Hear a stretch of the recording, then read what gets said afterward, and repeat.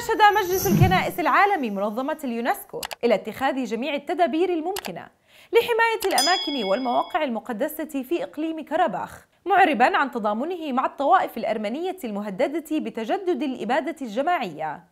كما دعا المجلس إلى احترام المقدسات وعدم الإساءة إليها والمحافظة على التراث الثقافي في الإقليم.